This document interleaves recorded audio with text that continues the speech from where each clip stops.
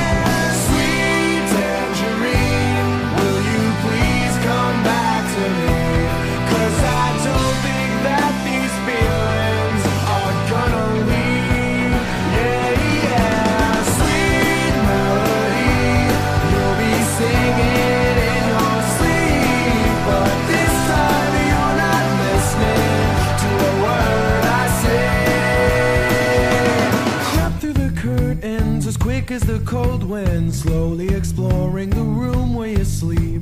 The stare of your portrait, the passing of your scent, left me no choice but to stay.